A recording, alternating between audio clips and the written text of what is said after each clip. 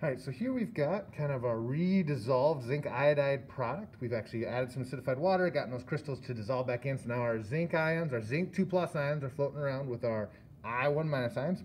Uh, what I've got here are, is a 9 volt battery with a our positive and negative electrodes. Uh, and I've got those hooked up to two pencils here, but I'm connected to the graphite. Graphite is electrical. Um, a little tricky here, see if we can get this lined up to be able to see if we can get those ions to come back out of solution. Come on, pencil. Work with me, pencil. You can do it. You can do it, pencil. You can do it.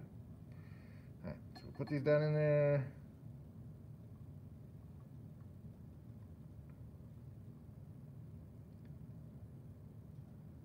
Hopefully our resolution is clear enough you can see that on kind of our positive electrode, they're starting to be kind of that brownish yellow color. Here, I'll move it a little bit so you can see brownish yellow color, that's the iodide ions. The negative ions are being attracted to the positive electrode, and then our iodine is coming back out as its elemental form. And actually on our negative electrode, we actually have, it's kind of hard to see, um, but our pencil is getting coated with a little bit of our zinc metal. So we're actually got, got our two ions able to decompose back out into their original elemental forms with the additional um, uh, uh, adding and removing of electrons via electrolysis. That's our 9 volt battery that's doing that for us.